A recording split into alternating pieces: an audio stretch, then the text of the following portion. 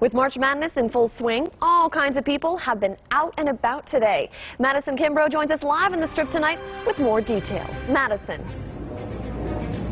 Yes, many people visiting Vegas calling it an escape as we're in the second day of the NCAA tournament and people are feeling the energy. Take a look. I didn't expect it to be this packed, but yeah, it is a lot of people. The view in our city looks a bit different this weekend. Streets are buzzing, hotels and casinos busier than usual.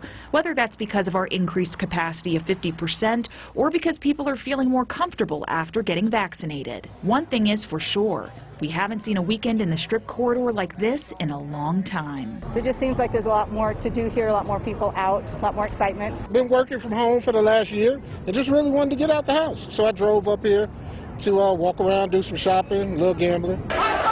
Today is also day two of March Madness. Over at Westgate, it's the busiest they've seen since last June. Many people expressing their joy that the tournament has returned to the Westgate Superbook once again. Energy is unbelievable. I've talked to a couple of our uh, loyal customers from other parts of the country, and they were just heartbroken last year when we didn't host this event.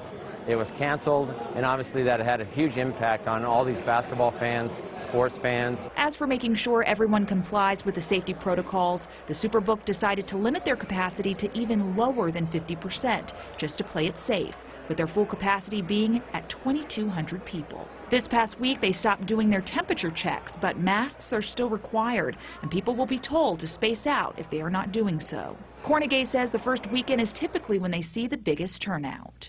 March Madness is a very unique event that it's actually more popular at the beginning of it than the end of it. So uh, you'll see the crowds kind of dwindle as the tournament goes along. I mean, we'll still have a nice crowd for the Final Four, but it's all about this first weekend.